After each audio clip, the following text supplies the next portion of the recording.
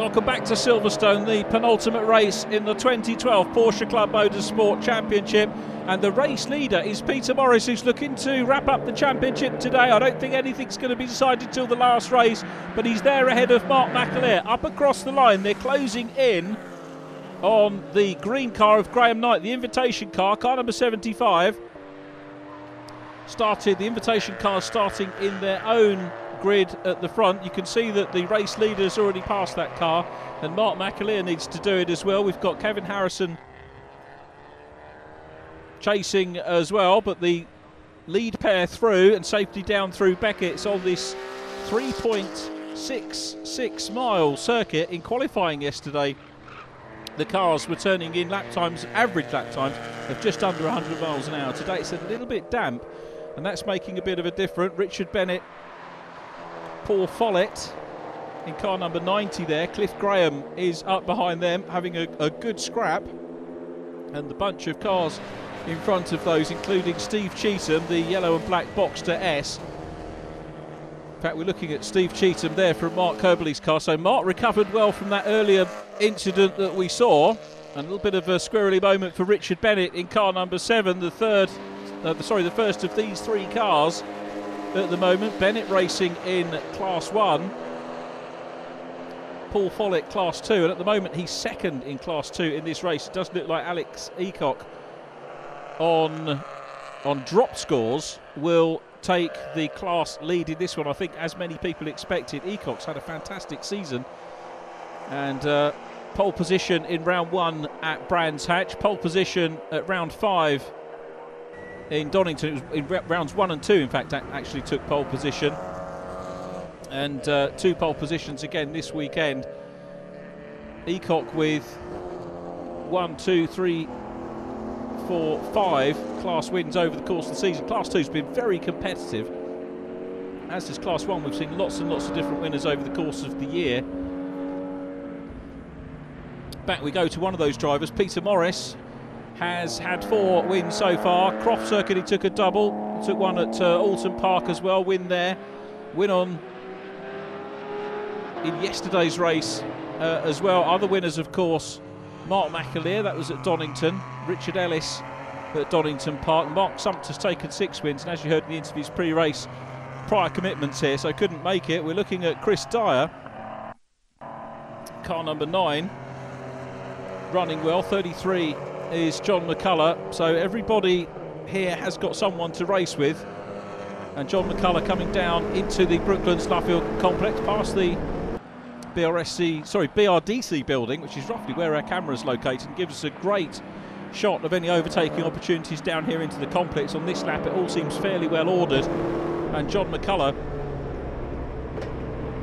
busy chasing the car of Lee Atkins in front of us, the Boxster S, number 38. Colour comes offline, looks at the inside as they go through Woodcote, but at the moment he's just going to have to settle for position. Goes for a slightly wider line, and Atkins grabs the line that he wants. Up in front of those, of course, Chris Dyer in the Strasser liveried car wants to keep ahead. He'll be quite pleased to see a battle behind him because that will give him a bit of breathing space whilst the car's behind battle. But this is the view from Marcus Carneal again, still chasing his teammate Ben Demetriou. Mark Proctor opening up a little bit of a gap here. The white car over the two silver livery machines, and it's Demetriou still there at the moment, running in fourth position. We've got invitation. We've got the invitation car of Gary Marsh up ahead of the uh, race, the uh, the main championship race leaders. Of course, as I mentioned, they started in the grid on their own, and we may, may well get to see some more of those cars as the race goes on. But this is the view from Marcus Carneal again. He wants to try and get back in front of his teammate. They play cat and mouse all meeting. Marcus the quicker for qualifying in this one. And he wants to try and get back in front of his teammate. So great racing, as we said, wherever you are in the mix. Kieran Brewer invitation card dropping back. That's the yellow machine as we look at 87. Mark Kerbley after that moment off the circuit at the complex earlier on. Certainly getting back in the mix and climbing up through the order. At the moment, Mark in third position down behind Paul Follett in Class 2. But this is the race for the overall lead here in our penultimate race of the year, round 14, race 14 of the 2012 Championship. And it's the Peter Morris car that is out front and to the good at the moment, and it looks like he could well convert this into a win. So Morris through once again, the Union flag actually flying superbly here and into Copse Corner for the last time. Mark McAleer chasing. We go on board with Mark Kirby again.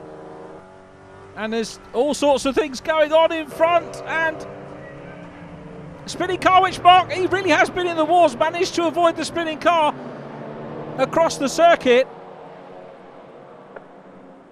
And, well, certainly Mark Kirby having problems. We look at car number 90, Paul Follett gets the better of that one. So Kirby handing, in fact, second position in Class 2 to Paul Follett. It's going to be Alex Eacock who will take top points. But there is Mark McAleer still chasing Peter Morris. Gary Marsh in the invitation. 997 GT3 car, car will be the first car in this race to take the flag, but we've been following, of course, the main championship runners. And it's going to be Peter Morris for another win, second win on the bounce, fifth win of the year. And this is going to net him 50 championship points and secure the lead, certainly on net scores.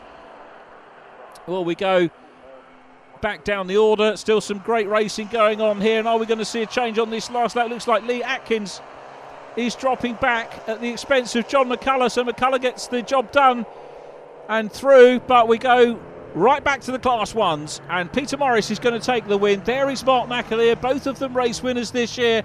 McAleer with a spirited drive held the lead. Taking it from the pole position man earlier on, but then having to surrender it going into Copse Corner.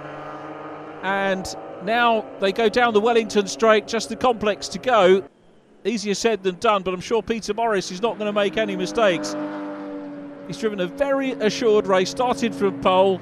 Maybe not the quickest man on, on the colder tyres on lap number one, but then pulled, pulled it all back in a very, very professional manner and he's kept a good distance between himself and Mark McAleer second. That gap out to just over a second at the moment, and that's going to count because he's coming up towards the checkered flag. And Peter Morris will take it. Morris takes round 14 of the 2012 Championship, and that will give him a good start for our, sec- our second race of this programme, the last race of the season. We're on board with Marcus Carneal coming through Woodcote. Marcus Carneal will take fourth position behind Mark Proctor. There is Brocky, punches the air with delight to take third. A podium for Proctor. Here's confirmation of the result. Invitation car, Gary Marsh up ahead of Peter Morris, who we saw take the checkered flag in the main championship.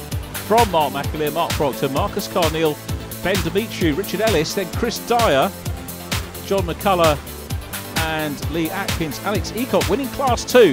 Graham Knight next from Steve Cheetham and Paul Follett. Kieran Brewer, Mark Coberley, with Graham, Andy Toon, Kareem Moody and David Bottrell. The runners completed by Stuart Ings, Paul Ward, Hugo Holmes and Ryan Licorice. So Pete, race one down, nice victory. Was that nice and easy for you?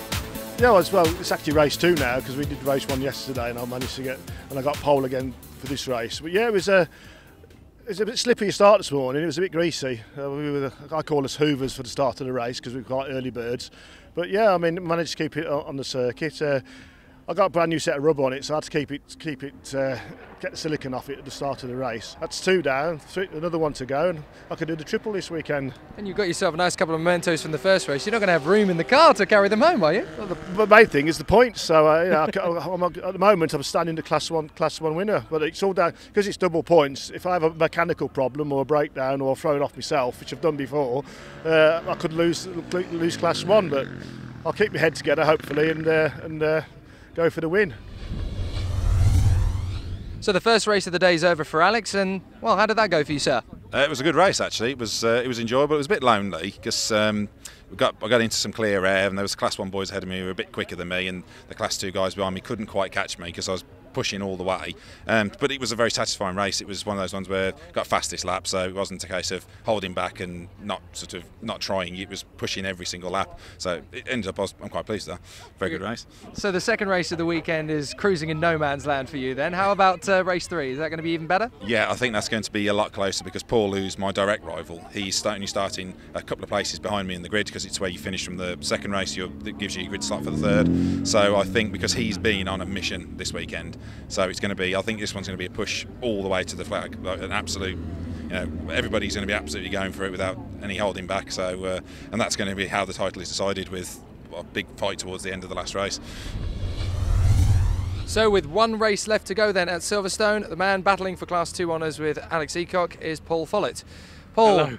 it's been quite a dramatic weekend already for you, hasn't it? it has, yeah. I uh, minor infringement in qualifying, which meant that all my qualifying times were uh, nullified. So I had to start from the back of the grid, and with a 10-second penalty. So it's like the first two corners, there was nobody there, so I'd catch them up and work my way through. And uh, fortunately, I worked my way through fast enough in both races to uh, get second in class.